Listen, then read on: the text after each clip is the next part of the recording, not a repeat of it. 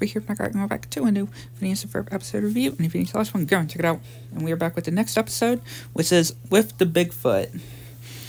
And we see Phineas and all of them heading to their grandma and grandpa's uh, for a night camp. And yeah, of course, Candace is just not wanting to do this, which, yeah, their grandpa is just mistaking Phineas with Perry. And yeah, I really do like these characters, though. The grandparents, I really do like. These the grandpa and grandma? I really do like these characters.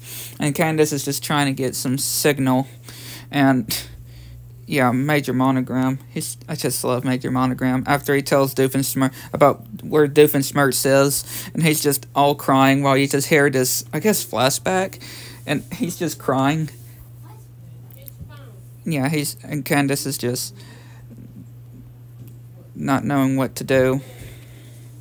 Which grandpa, the grandpa, just starts singing with about Bigfoot and the grandma grandma is about trying to show Candace some fun, and yeah, Perry says Doofenshmirtz, which Doofenshmirtz actually found somebody online, and yeah, see before his girlfriend come, his date comes, he got a he tells Perry if he can be his pet, since he doesn't know that he has a nemesis, and yeah, she's just all loving Perry instead of focusing on Doofenshmirtz and yeah, they're all starting to tell stories, the kids, and again, just not getting any focus on Doofenshmirtz, and he's just not knowing what's going on.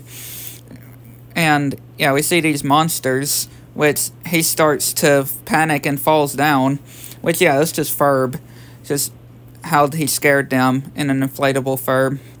And yeah, Doofenshmirtz about to come up, back up, and he gets hit with by his date thinking mistakenly of Bigfoot, and Candace is just screaming that we see this Bigfoot, but after she was get eaten, it wasn't actually Bigfoot.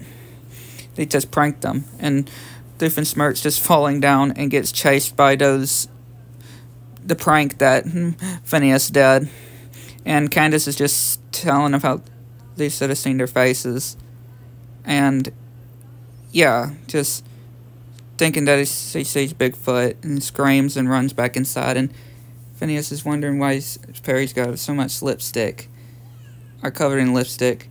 But yeah, a really good one. Hopefully you enjoyed. Hit the like button, subscribe if you don't. Which video internals, mention Like to know what I think. Get the next one.